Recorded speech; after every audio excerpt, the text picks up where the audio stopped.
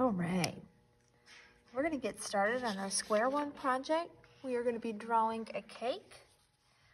But before we can do that, we need to draw the frame. So I'm going to draw a straight line from top to bottom. Turn my page. Draw a straight line. Turn my page. Draw another straight line. And then turn my page one more time. And then draw another straight line.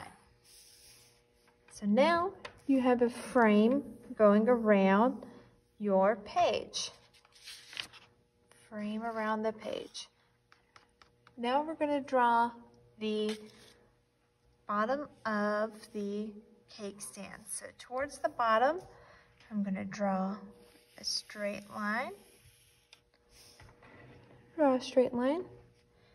Go down, down, and then connect my straight lines. Okay. Then draw a curved line and a curved line.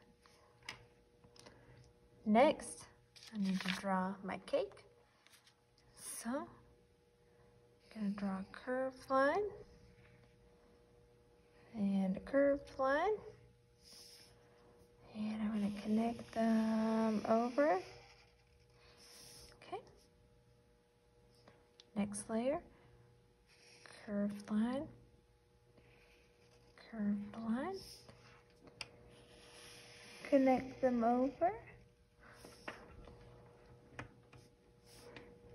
Curved line, curved line, connect them over. And then I can draw something on top. Draw a cherry, frosting, wavy line. So we draw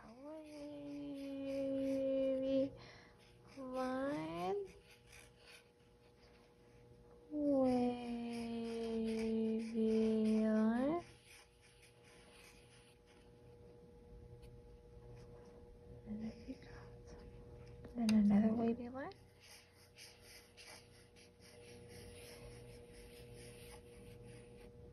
Okay, and then we have our cake. All right.